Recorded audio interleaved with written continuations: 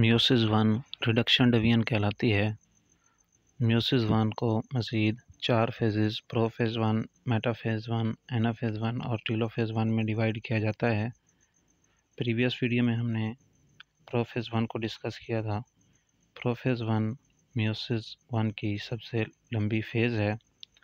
Prophase one को मज़ीद five सब stages leptotene zygotene pachytene diplotene और डाइकाइनेसिस में डिवाइड किया जाता है। प्रोफेज़ वन के दौरान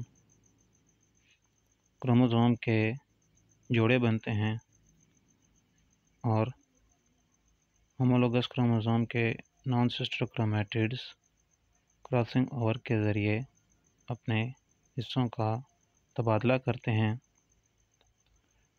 इस क्रॉसिंग ओवर के नतीजे में नए रिकम्बिनेशन बनते हैं। प्रोफेज़ वन के बाद मेटाफेज़ वन की बारी आती है। मेटाफेज़ वन के दौरान न्यूक्लियर मेम्ब्रेन डिसअपेयर हो जाती है और कैनेटोकोर फाइबर्स होमोलोगस क्रोमोसोम के कैनेटोकोर के साथ अटैच हो जाते हैं। इस तरह से बाईवेलेंट सेल के इक्वेटर पर तरतीब पा जाते हैं। मेटाफेज़ वन के बाद एनाफेज़ वन की बारी आती है। एनाफेज़ वन के दौरान काइनेटोकोर फाइबर कटते हैं और पोल फाइबर्स लंबे हो जाते हैं। इस तरह ये इंडिविजुअल क्रोमोसोम को सेल के मुखालिफ पोल्स की तरफ़ खींच लेते हैं।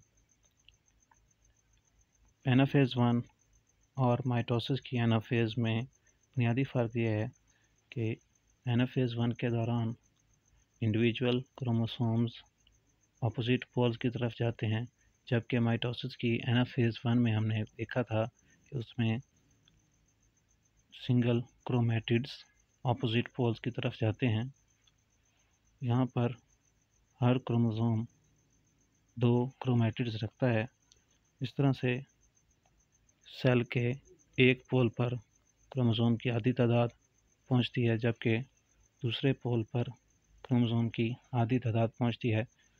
इस तरह से क्रोमोज़ोम की तादाद एन एफ़ एनाफेज़ वन में हाफ़ हो जाती है। तो ये actually N F anaphase one ही रिडक्शन फ़ेज़ है। एनाफेज़ वन में चूँकि क्रोमोज़ोम की रिडक्शन हो जाती है तो इसके बाद टीलोफेज़ वन की बारी आती है। टेलोफेज़ वन के दौरान न्यूक्लियर मेम्ब्रेन दोबारा से बन जाती है। न्यूक्लियर लाई रिपेयर हो जाते हैं, यानी न्यूक्लियर लाई दोबारा से ज़ाहिर हो जाते हैं और दो न्यूक्लियर लाई दो न्यूक्लियाई बन जाते हैं। हर न्यूक्लियाई के अंदर क्रोमोसोम की तादाद आधी हो जाती है। इसके बाद सेल का साइटोप्लाज्म डिवाइड करता है, जिसके नतीजे में दो डॉटर सेल्स बनते हैं।